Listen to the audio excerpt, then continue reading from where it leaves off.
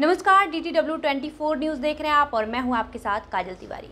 बिहार में विधानसभा चुनाव होने से पहले बिहार की राजनीति में बहुत तरह का उलटफेर देखते हुए नज़र आ रहा है। आपको बता दें, राजद से बातचीत करने के बाद खबरें ये आ रही है कि सीपीआई और सीपीआईएम महागठबंधन ज्वाइन कर सकते हैं।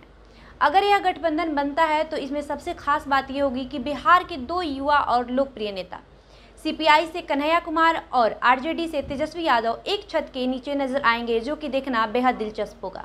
बताया जा रहा है कि वाम दलों के साथ महागठबंधन की बात चल रही है। आरजेडी के साथ वाम दलों की ऐसी एक बैठक बुधवार को भी हुई। इसमें सहमति बनी कि आरजेडी, कांग्रेस सभी वाम दल व अन्य लोकतांत्रिक दल साथ मिलकर सभी दो सीटों पर चुनाव लड़ेंगे। हालाँकि सीटों की संख्या को लेकर सवाल बरकरार है। बुधवार को आरजेडी के प्रदेश अध्यक्ष जगदानंद सिंह से वाम दलों की नौ सदस्यीय टीम के साथ वार्ता हुई।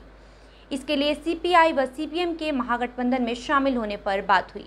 इसमें आरजेडी, कांग्रेस सभी वाम दल व अन्य लोकतांत्रिक दल एक साथ सभी दो सीटों पर चुनाव लड़ेंगे।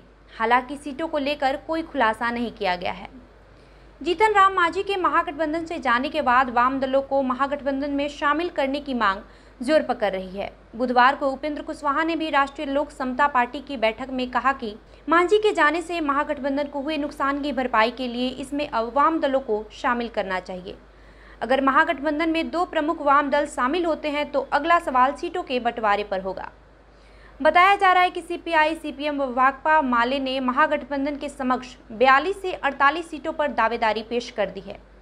हालाँकि सीपीआई के राज्य सचिव राम नरेश पांडे कहते हैं कि राष्ट्रीय जनतांत्रिक गठबंधन को हराने के लिए मज़बूत विपक्ष ज़रूरी है। इसके लिए विपक्ष की बड़ी पार्टियों को छोटे दलों के प्रति त्याग भाव दिखाना होगा। सीपीएम के राज्य सचिव अवधेश कुमार के मुताबिक यदि एनडीए को हराना है तो महागठबंधन में हर सहयोगी दल को समान देना पड़ेगा। हमारी कोशिश यही रही है कि विपक्ष के वोटों का बिखराव नहीं हो। फ़िलहाल अभी स्थिति सामने है, उसके अनुसार राजद को 142 कांग्रेस को पैंसठ से छाछठ, रालोसपा को 20 और वीआईपी को 15 से 16 सीट मिल सकता है। पर अगर पार्टी में सीपीआई और सीपीआई एमएल की एंट्री होती है तो कम से कम उन्हें 10 सीट देने होंगे और ये सीट कांग्रेस और राजद के हिस्से से दिए जाएँगे। तो इस हाल में राजद एक सौ सैंतीस और कांग्रेस 60 सीट पर चुनाव लड़ेगी। वही आगे बात करें कन्हैया कुमार की तो ये ज़ाहिर सी बात है कि वो बेगूसराय से एक बड़ा चेहरा है। हाल के दिनों में जेएनयू छात्र संघ के पूर्व अध्यक्ष कन्हैया कुमार की तुलना तेजस्वी यादव से की जाती रही है। तथ्य यह भी है कि विपक्ष के दोनों नेता युवा हैं, लगभग हम उम्र हैं और दोनों की अपनी सियासी क्षमता है। कन्हैया कुमार ओजस्वी वक्ता हैं तो तेजस्वी का बिहार में बड़ा राजनीतिक जनाधार है।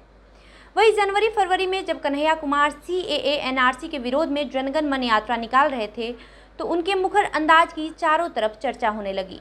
यही वजह रही है कि उन्होंने मुस्लिम समुदाय में सहानुभूति पाई है और अपनी अच्छी पैठ भी बना ली है। इस दौरान कहा जाने लगा कि वह तेजस्वी को टक्कर दे रहे हैं। ज़ाहिर है, सियासी कयासबाजू के बीच तेजस्वी भी 23 फरवरी से बिहार की यात्रा शुरू कर दिए और सी एनआरसी के साथ बेरोजगारी को भी अपने एजेंडे में शामिल कर लिए। हालाँकि इस दौरान एक बात सामने आई, वो ये थी कि कन्हैया कुमार कभी तेजस्वी यादव पर निशाना नहीं साधे और तेजस्वी यादव कभी कन्हैया कुमार को लेकर कुछ नहीं कहे। एक तरफ़ जहाँ कन्हैया कुमार का निशाना हमेशा केंद्र और नरेंद्र मोदी पर हुआ करता था, वहीं दूसरी ओर तेजस्वी यादव हमेशा एनडीए और सुशील कुमार मोदी पर निशाना साधते रहे। तो अगर इस बार चुनाव में ये दोनों चेहरा एक साथ मंच शेयर करता है तो ये देखना काफ़ी दिलचस्प होगा। बहरहाल, बिहार और देश की तमाम खबरों से जुड़े रहने के लिए हमारे साथ बने रहें। अगर आपने अभी तक हमारे चैनल को सब्सक्राइब नहीं किया है तो कर ले। अगर आप ये वीडियो हमारे फेसबुक पेज पर देख रहे हैं तो हमारे पेज को लाइक करें, शेयर करें। धन्यवाद।